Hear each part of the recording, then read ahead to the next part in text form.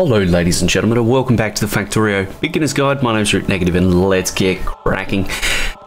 Ah, dearie me, we're uh, we're closing in on the end, ladies and gentlemen. We're not that far away from the uh, the rocket silo and launching a rocket and uh, saving ourselves from this planet. Now, um, I'd like to just point out a few things to you guys uh, that I um, that I worked on uh, just off camera. Uh, first and foremost, this is your standard power armor configuration. Pause the video if you'd like to um, peruse it a little bit more.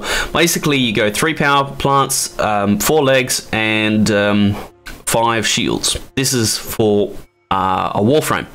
Now, your construction power armor looks a little bit different. You go five um, robo ports and potentially an extra two legs. But uh, just wanted to point that out to you. Now we're uh, we're working away at getting the stuff together to uh, to build a rocket silo. Now a rocket silo, a rocket silo. Oh, it's over here. Is it? Yes. Uh, it takes thousand steel plate, thousand concrete, hundred pipe, two hundred processing units, and two hundred electric engine units. Now we need to start setting this these materials aside so that when uh, when it comes time, we've got them ready to go. Now, I think that uh, I think that we'll place our rocket silo somewhere up here ish. Uh, so what we'll do is we'll request in one, two, three, four, five, or we'll build five. Go one, two, three, four, and five. I already had them in my inventory, so that means I'm just uh, just topping up my inventory now. Um, so we need steel, concrete, pipe, processing units, and electric engine. Can do. That's a thousand steel.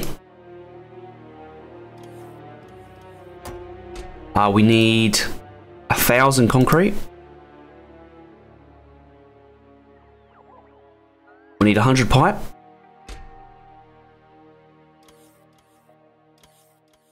We need 200 processing units.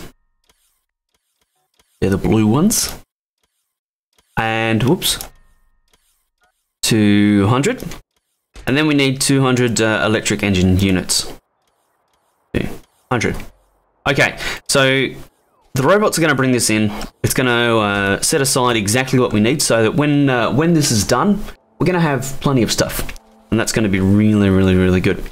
Now, the next couple of things, we need to automate a couple more um, products ready for the rocket defense. Now, I, uh, I did one real quickly, just so that uh, we can keep moving this episode. I'll show it to you down here.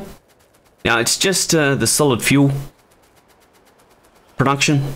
Basically, all we do is we take uh, solid fuel and then we put it into an assembler and it makes rocket fuel. Now, rocket fuel is special. It cannot be burnt, all right? And the closest analogy is, you know, just imagine if you're putting a SRB, like a solid rocket booster, into a boiler. You know, it's fairly energetic, um, whereas solid fuel is a little bit more uh, calm when it burns. So we've got this um, being set aside now, and uh, this is set to a thousand, and uh, that's that's going to take care of our rocket fuel requirements. Now, the next two products that we need to do are low density structures and the rocket control units. Now the rocket control units, I think that uh, we can potentially do something with this. Now we've got, um, you'll notice here that I've extended out the module ones so that they can be extracted here. But I think I'm actually going to change this. Yes, I am going to change this. What I want to do is I want to extract it all the way out because the rocket control units take processing units and speed modules. So if we extend this here, and if we take this here, we kind of naturally have a uh, a line created. So what we'll do is we'll throw down a couple of these. Uh, these rocket control units take 30 seconds each. So I would like to have... Hmm, how many is a good number here? I want eight. I think 10. I think 10 is a good number. And we'll, we'll eyeball this and see what kind of production we get because uh, things may not be fast enough for this, especially our processing units. You can see that we, we just kind of don't get enough green circuits through this uh, this build. Right, so we'll extend this out.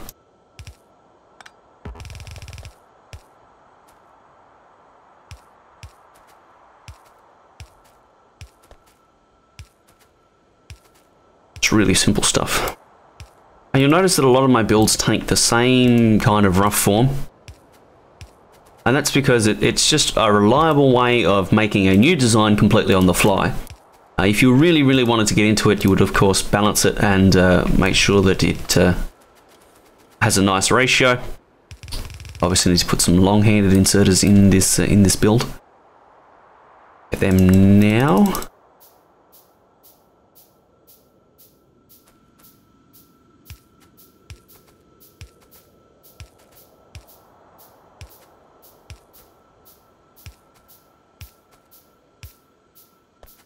Nice. So we need to set this up for the rocket control units. So we'll get this doing its thing.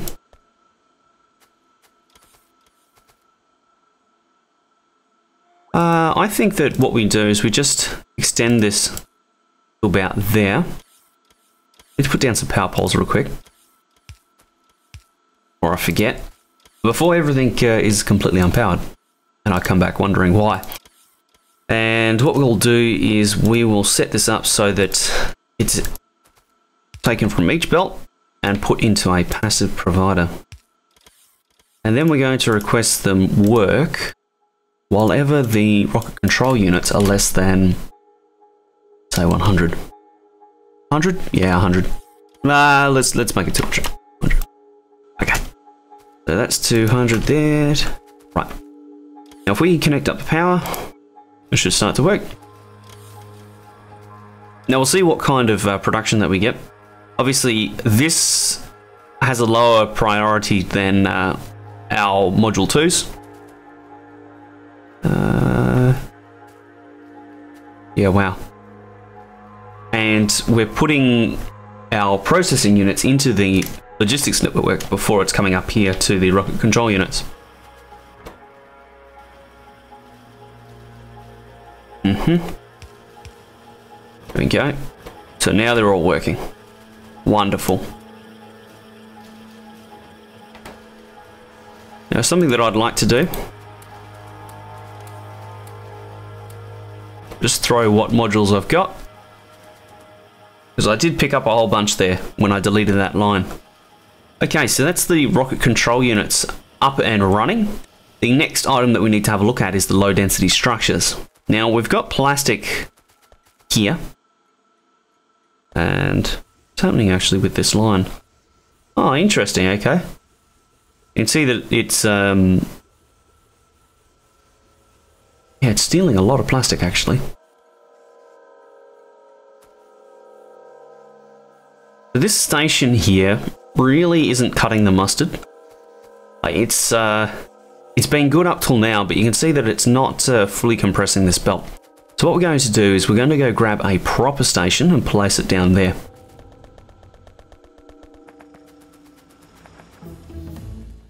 Wonderful.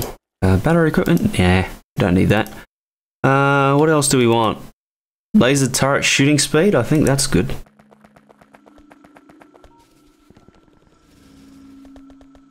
Okay, so this is an unloading station and uh, it'll work a lot better. Or will it? Dun dun dun! It should work. Uh, what do I want? I want like this kind of area. I like it. Go. Let's go place this up at our other station. I feel like I can make this work. I hope I can anyway. Okay, uh, so what we'll do is just disconnect this for a moment. Um, we will also... Uh, I kind of need to remove the belts as well. I'll move these real quick as well. Is the the boxes themselves should stay in the same location. It should just be the... Uh, hmm. Okay. Interesting.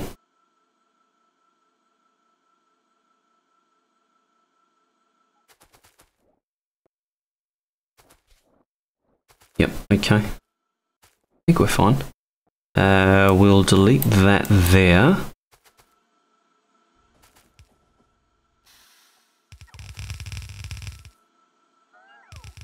Really need to make these smart chests. Just as a random thought. Okay. Need to remove these. Make sure that they're uh, changed over to be smart inserters.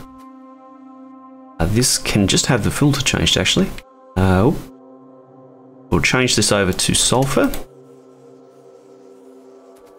Hold the phone. I need to uh, make sure that that doesn't get uh, carried away there.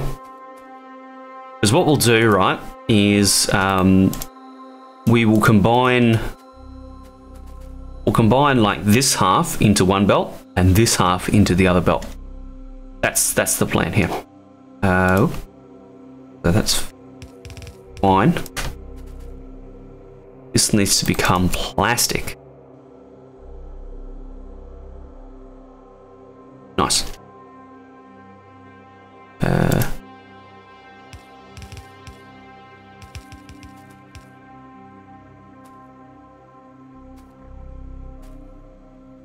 nice.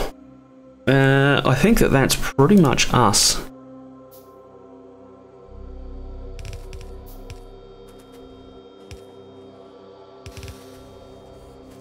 Oh, we need another four. One, two, three, and four. Okay. So we've got one line of sulfur and one line of plastic ready to be uh, manipulated. I think that uh, actually moving, just doing this, this line, right? Mm, now we're getting into a little bit of spaghetti.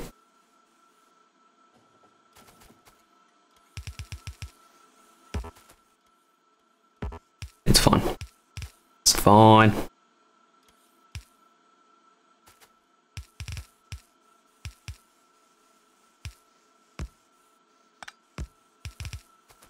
Right, that'll work. Now we need to do the same thing with the sulfur as well.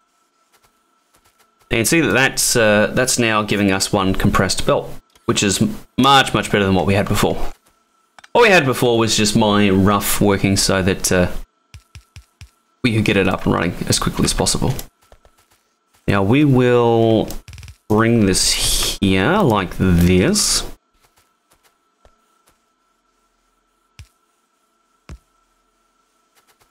Yep, I'm liking this.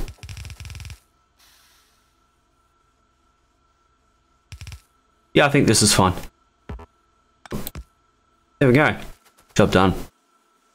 What we'll do is just uh, throw all this extra stuff we've got on us now into the uh, into the network. Now this should actually be uh, plastic.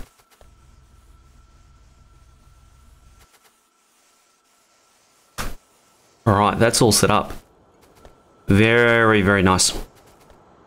Oh, so that, that took a little bit of time, uh, but now we've got a much better station uh, for unloading the plastic and the sulfur. Now we can move on to automating our low density structures. Now the low density structures take a fair bit of time. They also take a fair bit of resources too. Now we've got uh, we've got some options as to how we do this. Uh, one option is just moving it past this uh, this rocket shell assembly area, and I think that that's probably the best way of doing this. Simply because we've got the steel and we've got the plastic already there. Now, what was the other item it needed? It needs copper. So we need to get the copper in somehow. And that could be the interesting part. Uh, we bring it... If we can get, get like a split running this way. That would work.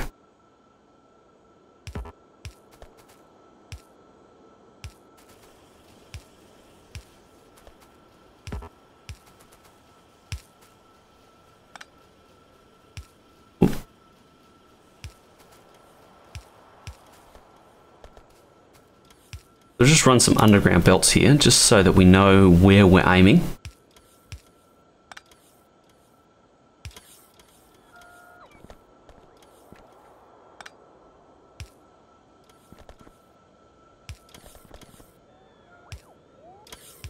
Okay, nice. Audio. Uh, we need to take a quick blueprint of this. So that we can uh, properly extract from this uh, this main bus. Okay, here it is. Perfect. Allow the bots to place that. We'll hook this up. Do need to put in some power. There we go. Pick these up. Nice. That's going to work now. We just need to hook this line up. And we've got the three products that we need where we need them.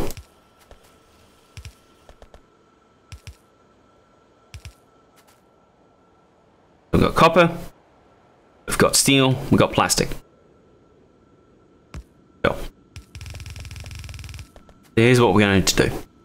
Is we're just going to do a simple, simple straight line uh,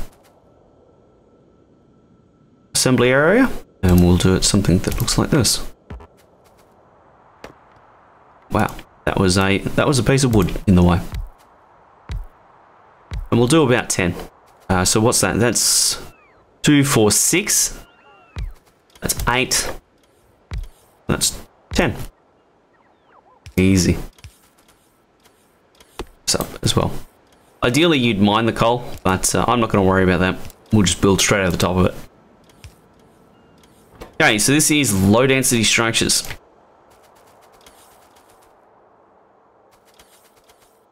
And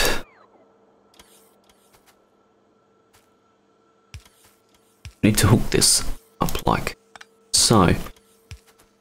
With this being automated, we'll uh, we'll be pretty much at the point where it's just a, a, a waiting game and uh, gathering in the resources that we require. We won't need to do terribly much else.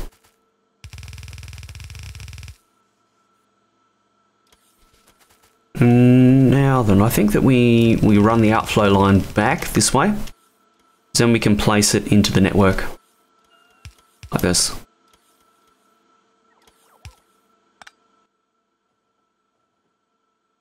Uh, low density structures less than 200. Set.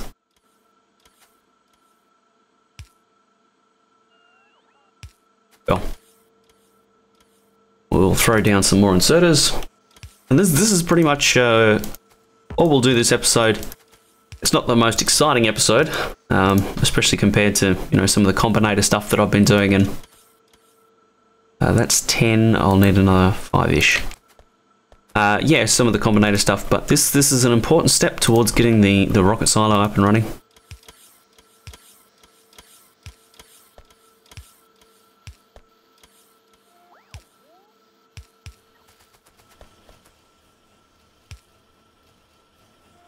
Rightio. Now be careful not to line up your long-handed inserters. Because what you can have happen is if this uh, factory gets destroyed, you can have um, the long-handed inserters actually passing things to themselves. and you can actually have the same kind of problem uh, arise with furnaces if you line up a long-handed inserter with an output short-handed inserter on the other side. It's actually quite amusing when it happens. It happened in Break the Game uh, where I had uh, some furnaces destroyed and, and suddenly the inserters were passing copper ore to themselves and then putting copper ore down my, co my copper main bus. It was um, yeah, not the greatest. Right, uh, what's the copper supply doing? Ooh. Okay, so we're a little bit short here on, uh, on copper. Why is that? These copper mines are just uh, just out on their feet. This, this is loading and flowing as fast as it can. Ah, interesting. We're pretty much at the stage where upgraded belts are going to become more and more required, but you notice that I haven't had to, and I, won't actually need to upgrade my belts either. um, I can still make do with yellows. Making them reds or blues would improve things marginally, uh, but for the most part, just having a well-designed main bus has um, has carried us through pretty much the entire game. Which was a point I was trying to make. Okie dokie. Uh, if we have a look here.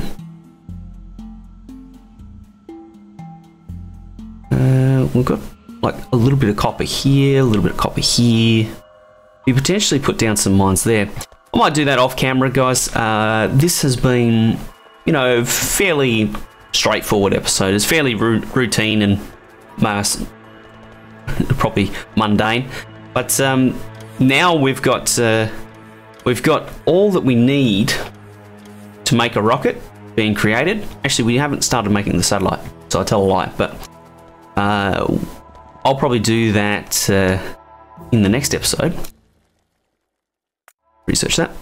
We've got everything we need to make a rocket silo right here now. And uh, yeah, we're, we're looking pretty good. So thank you for joining me, ladies and gentlemen. Look forward to seeing you in the next episode.